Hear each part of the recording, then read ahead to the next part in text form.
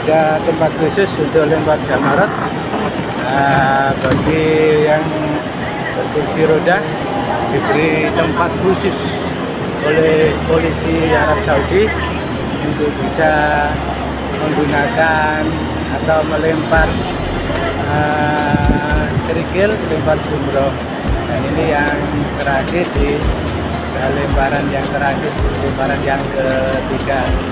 Pak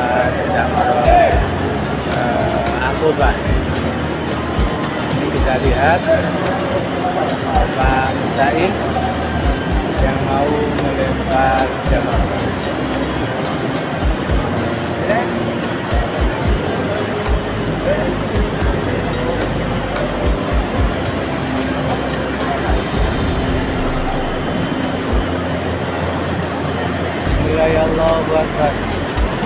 Bismillah Allahu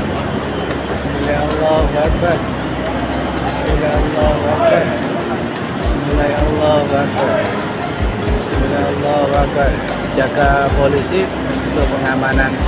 Sampai selesai. Sudah lebaran yang ketujuh. Alhamdulillah.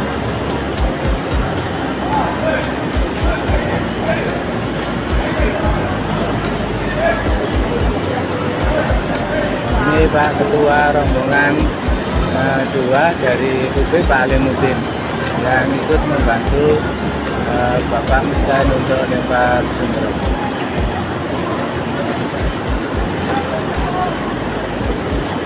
Demikian kami laporkan dari Kota Mina Jamarot Akoba. Terima kasih. Assalamualaikum warahmatullahi wabarakatuh.